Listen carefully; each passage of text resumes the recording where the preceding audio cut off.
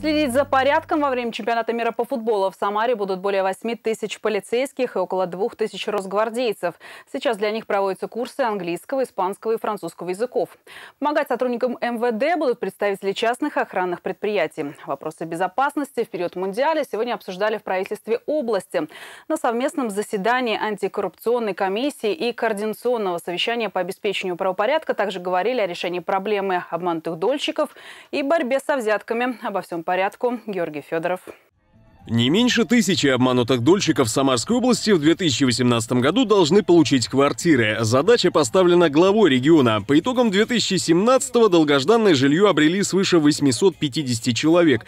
Из 38 долгостроев, оставшихся в губернии, ввести в эксплуатацию в ближайшем году планируется минимум 12. Шесть из них в Самаре, по три в Тольятти и Волжском районе. В общей сложности инвесторы найдены для 27 проблемных объектов.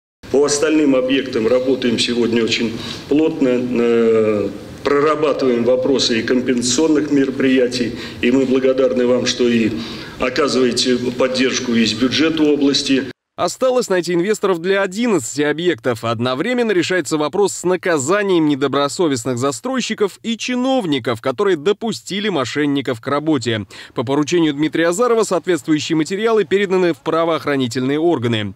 еще одна актуальная тема – пресечения преступлений в сфере антикоррупционного законодательства. В 2017 году таковых выявлено свыше 6,5 тысяч. По всем случаям прокуратурой внесены представления, к ответственности привлечены более более полутора тысяч должностных лиц. Заведено 77 уголовных дел. Наиболее часто факты взяточничества фиксируются в учреждениях здравоохранения, образования и ЖКХ. Снижение отмечено только в медицинской сфере. В сфере образования коррупционная преступность в 2017 году выросла на 46%, а в сфере ЖКХ на 161%. Руководителям профильных министерств совершенно очевидный сигнал да, и образования. Вот я говорю, в тот раз Минздрав критиковали, Владимир Александрович, но у нас со страниц газет не сходят просто ваши подчиненные.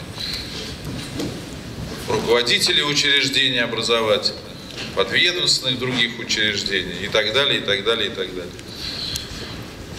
Значит, проводите работу. Я хотел, чтобы у нас максимальная информация в СМИ была представлена. Надо людей проинформировать. У людей будет больше доверия к этим процессам. Люди будут активнее включаться и помогать нам э, в борьбе с этими проявлениями. Обсудили вопросы безопасности в период Мундиаля. Межведомственная комиссия, созданная по распоряжению главы региона, обследует все объекты, задействованные при проведении спортивного события. Ведется работа по усилению их антитеррористической защищенности. Дмитрий Азаров также обратил внимание на необходимость привлечения дополнительных единиц транспорта на самые востребованные маршруты. Совершенно очевидно, что у нас большое количество фанатов будет на набережной. Вот, пожалуйста, отработайте совместно еще и с Министерством транспорта, с ГИБДД. Этот маршрут будет востребован. Георгий Федоров, Алексей Вельмискин. Новости губернии.